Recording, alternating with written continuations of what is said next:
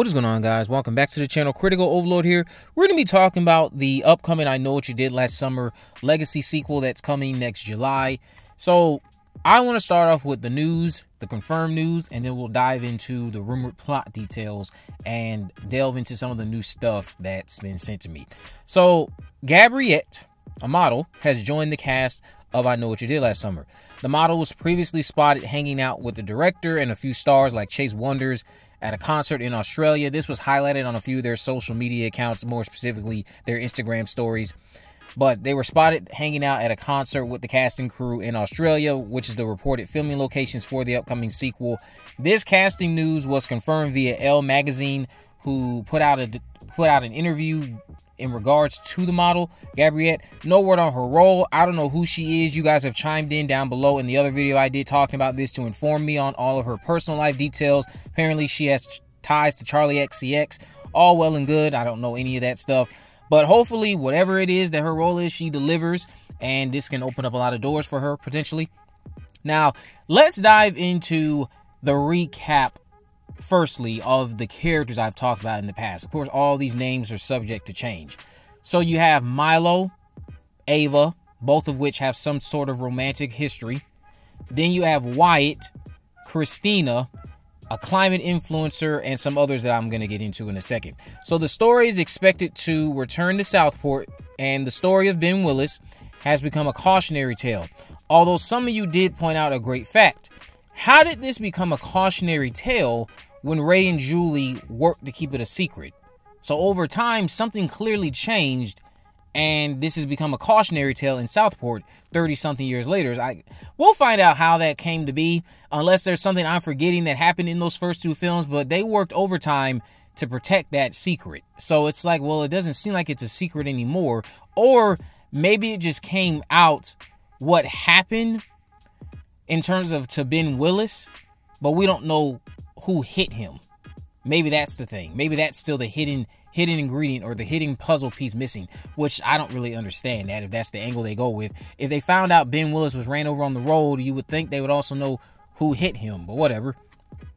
Anyway, there's supposed to be a wedding in the works with our newbies, and it would appear Wyatt is one of the characters getting married.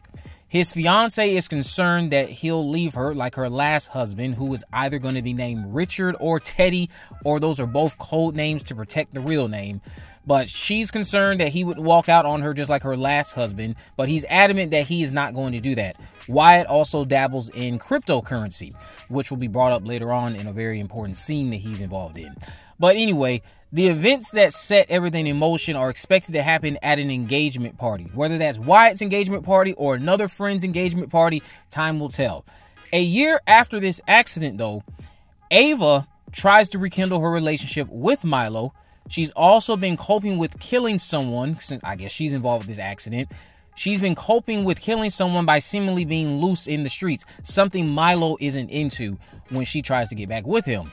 Some other characters whose names are subject to change, like always with this stuff, are Kyle, Hannah, and Pastor Noah. Kyle seems to be part of the friend group being targeted throughout the film because he was involved in the accident last summer too. Kyle has been struggling recently since his loved ones began disappearing. I'm assuming these are the murders that are going on. So he decides to visit Pastor Noah for some sense of comfort because he has a lot of things weighing on his conscience. Hannah is already in on Pastor Noah's little community that she brags about because she saved or because he saved her life. And before him, she was so dirty and full of sin. Hannah, in a twist, also saw Kyle and his friends last summer up to no good. So it looks like we have a witness of whatever goes down that summer with Kyle, Ava, Milo, and whoever else was involved in that accident that makes it their makes their way to being involved in the narrative when it jumps a year later.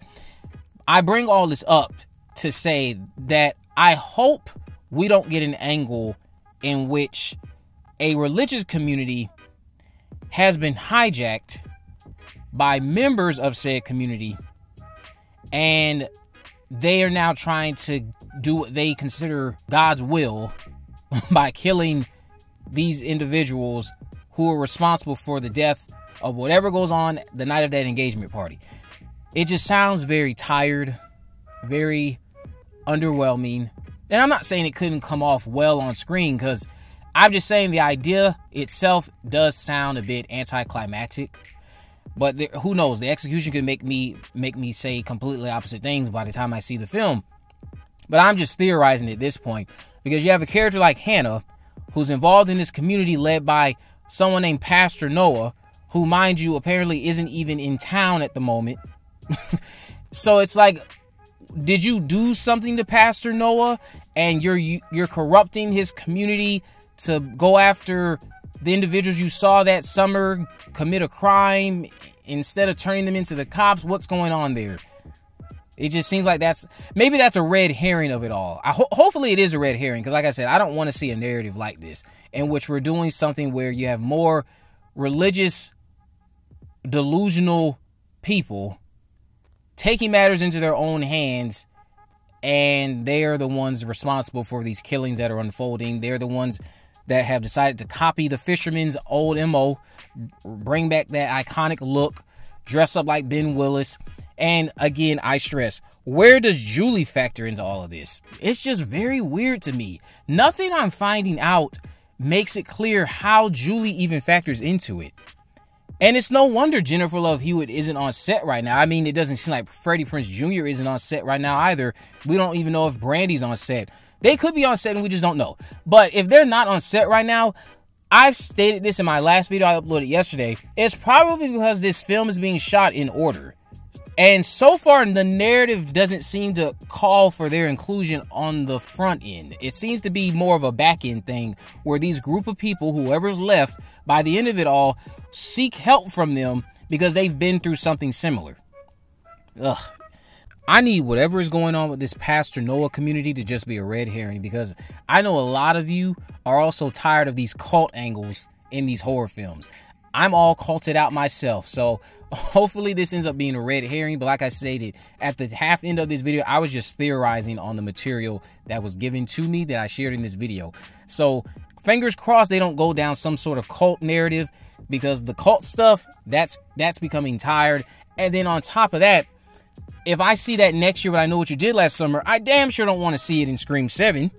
Let me know what you guys think about this down in the comment section below. If you haven't already, of course, make sure you subscribe, turn on post notifications so you never miss a video. In the description, I have links to all my social media accounts. I am on Facebook, Twitter, and Instagram. You can message me there, of course. Let me know if there's any movies, news, or reviews you'd like me to cover in the future. And with all that in mind, guys, I will see you in the next video.